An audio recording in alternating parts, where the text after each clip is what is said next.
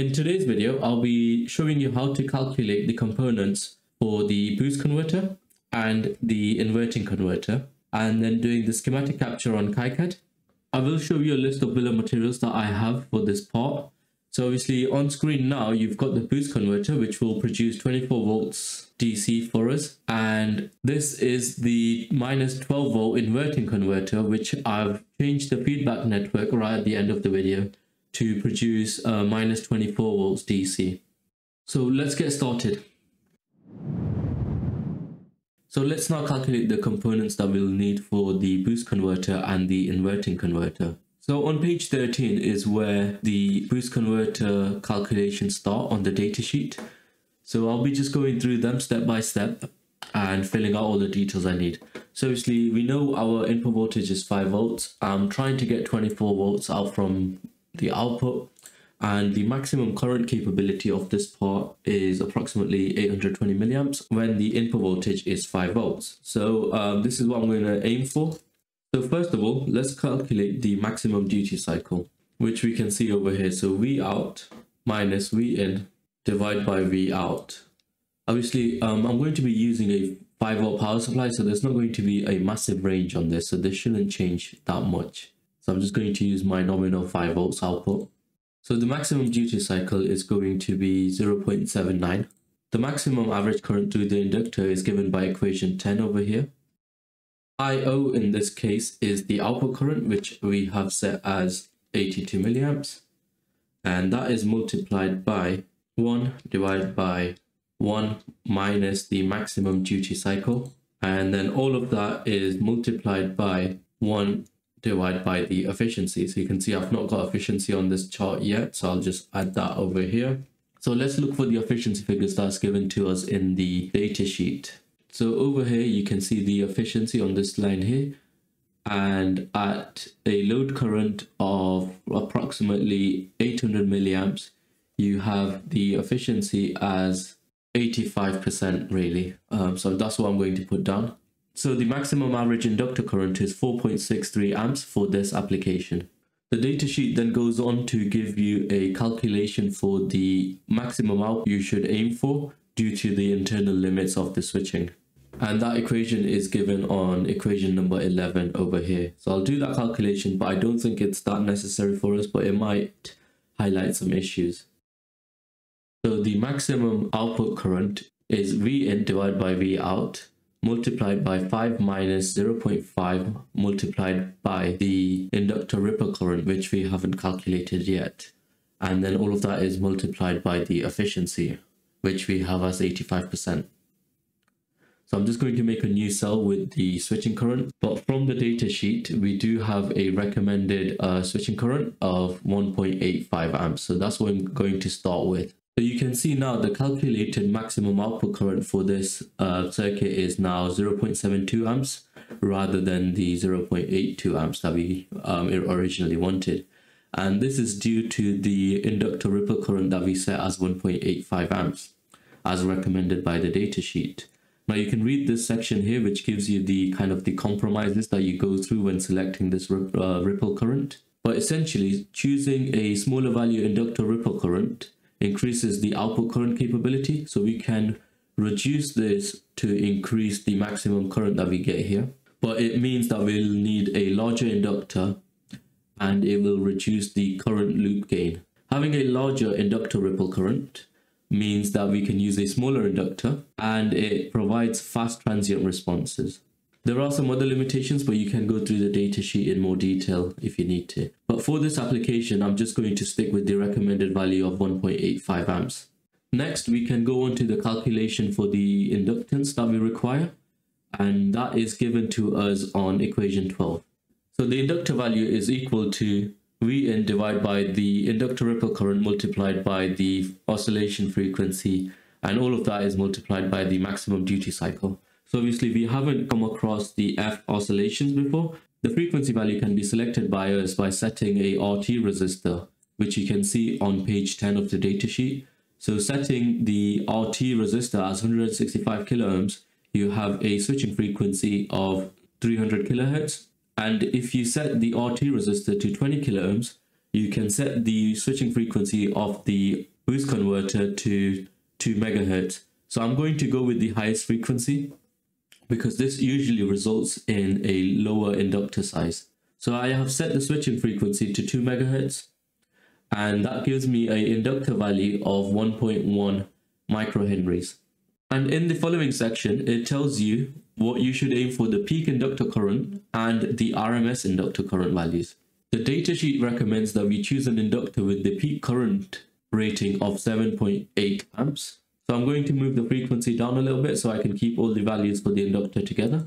So the peak current is 7.8 amps and the RMS inductor current is equal to the IL max we calculated on equation 10, which is 4.63 amps.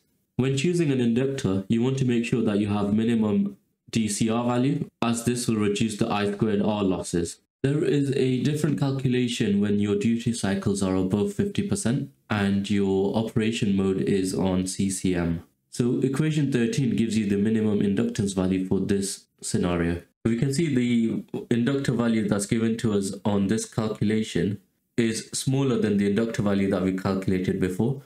Therefore, I think we are okay with to continue with this uh, inductor value that we've calculated here. As what this paragraph is saying is that it will prevent um, oscillations as long as we have an inductor value that's above this when we are operating above 50% duty cycle. Input capacitor selection is generally the easiest part of this designing a boost converter. And in the datasheet, they will just give you a recommended value that you should use. And sometimes they may give you what the cost benefits are of going lower or higher. So the recommendations on this are that we use a X7R or X5R dielectric capacitor and it should be pl placed as close as possible to the V in and the ground pin.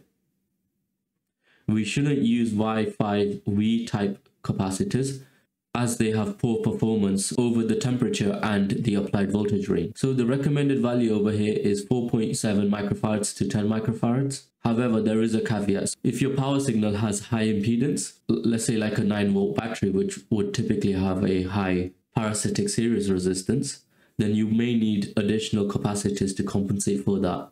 I'm going to set the requirement for voltage rating for this capacitor as 10 volts minimum.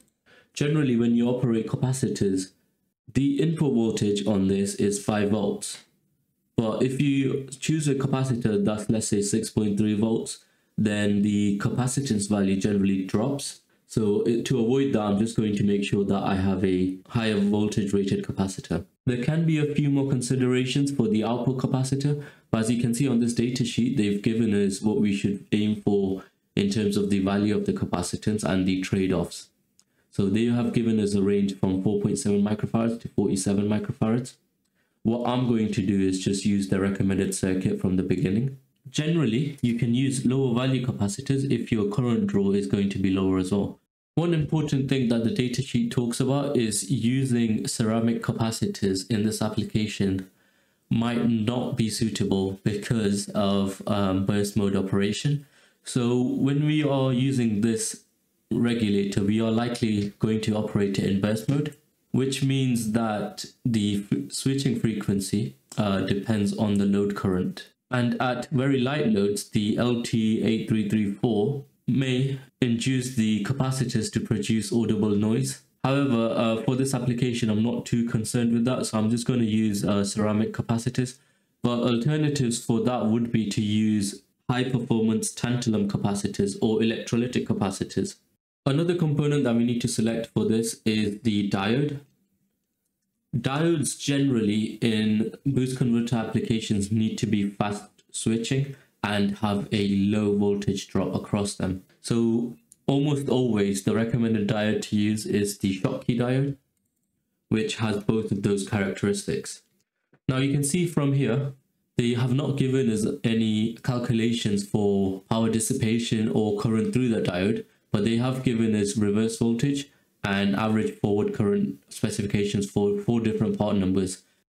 So what we're going to do is just take one of these diodes as an example and find similar from the company that I'm sourcing my components from. And that should be everything in the design done except for R1 and R2, which I'm just going to use from the reference design.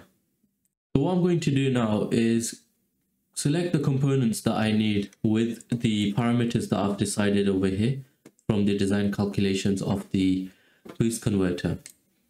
Obviously the schematic is going to look like that. So I'll quickly draw that after doing my bill of materials. And then I will um, basically do the same thing for the inverting converter as well, where I will be aiming for minus 24 volts output.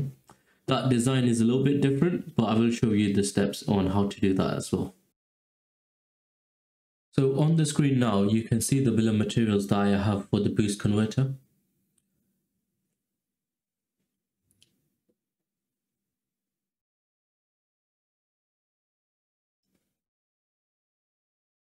I will populate the reference designators after I have done the schematic. So you can see my existing schematic is on display right now. I am just going to add in the boost converter, which I'm going to power from the VBus rail. So I will add it after this port. And the first thing I need is input capacitors. Next, let me check if the LT8334 port is available on KiCad. So it appears that that part is not available. So I'll make that at the end, but I will add in everything else that I need.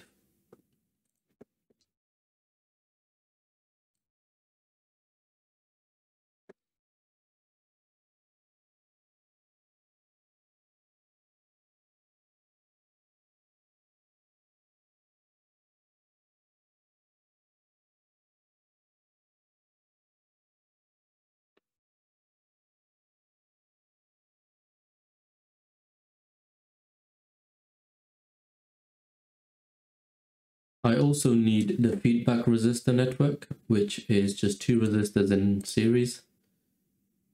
And that goes after the Schottky diode. And the bottom resistor is connected to ground.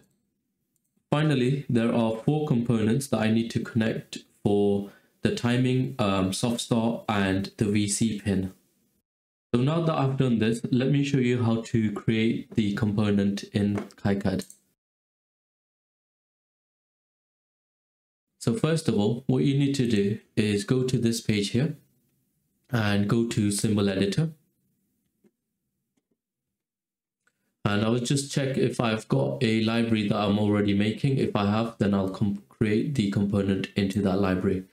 So you can see I've got a, my library here for this project that I created earlier. And in there, I'm going to create a new symbol. And the symbol name is going to be LT 8334. All of these designators are fine. And then I will need to basically add in all the pins that I see on my symbol. And essentially what I'm recreating is basically this diagram over here. You can see now that I've got all the pins over here from the diagram that I showed you. Just make sure that it's aligned and add in finally a box.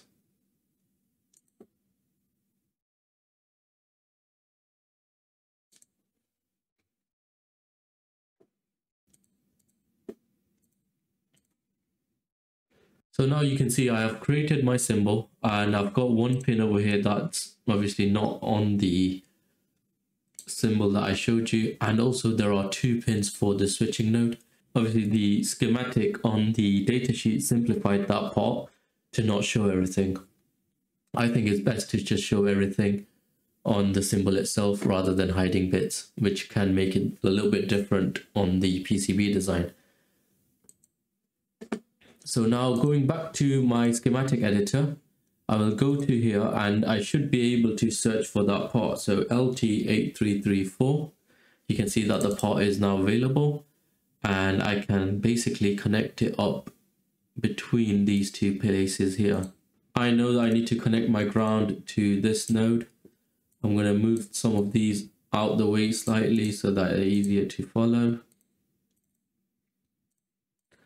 I think the symbol can be a little bit bigger and I might tidy that up later, but for now, I'm just going to leave it as is. Finally, add in my last component for this part, which is a 1 microfarad capacitor. And the bias pin is connected to ground. Now you can see I've got two more connections to make, which are around this node here. And I'm going to do that by simply just taking these connections here. These two points I know connect together. And that's the switching node. So you obviously got two tracks for that. That's fine. And now you can see I have got the schematic fully um, completed and we can move on to the footprint assignment tool. You can see I've now done the footprint assignment tool for this um, new components that I've had here. So, you know, the diode is SOD123, the LT8334 package is a DFN 12 pin with a, a ground pad underneath. And then obviously the resistors are just 0402.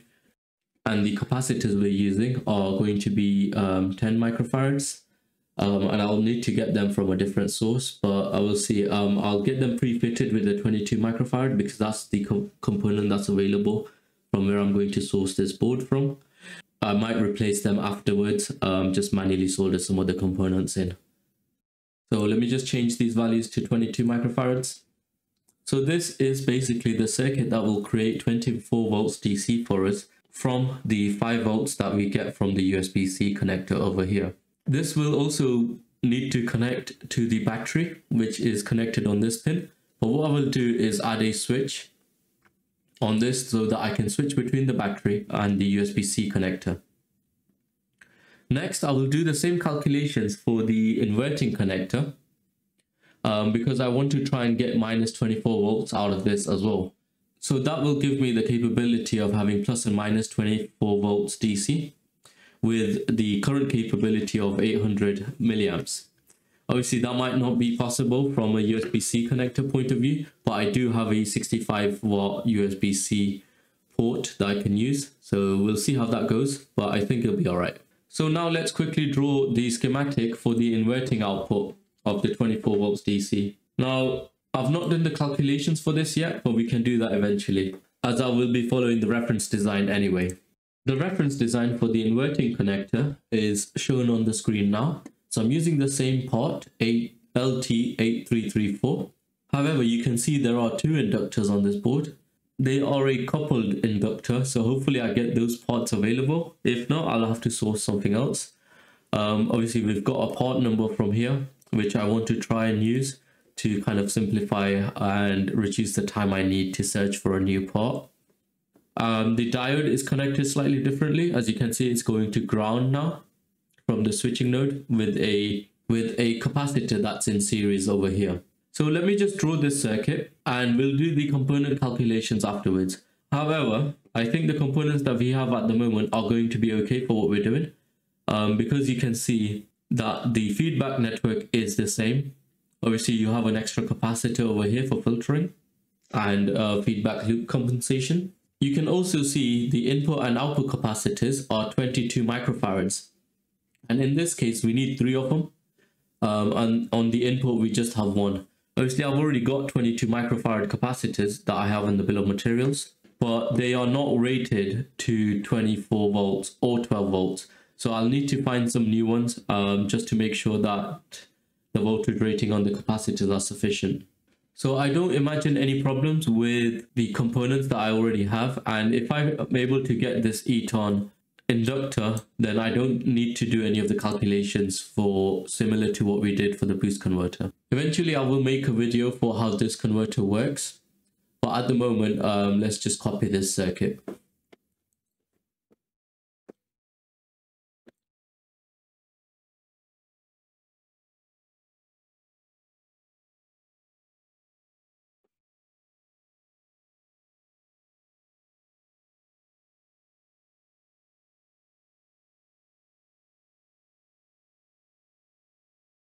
So this is the inductor that we need. And you can see that it's one, two, three, and four. So one and three are together on inductor one and two and four are together on inductor two.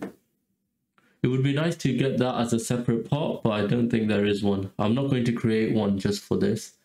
Essentially what I'm doing is copying this circuit at the moment, which is the recommended um, typical application circuit for this part.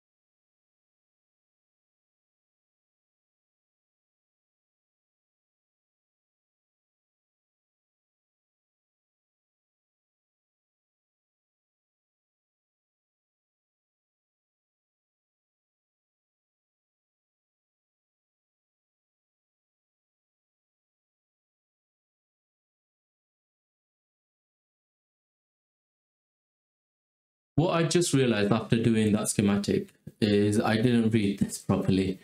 So what I will do now is just make sure that this regulator can do minus 24 volts and what components I need to be able to achieve minus 24 volts.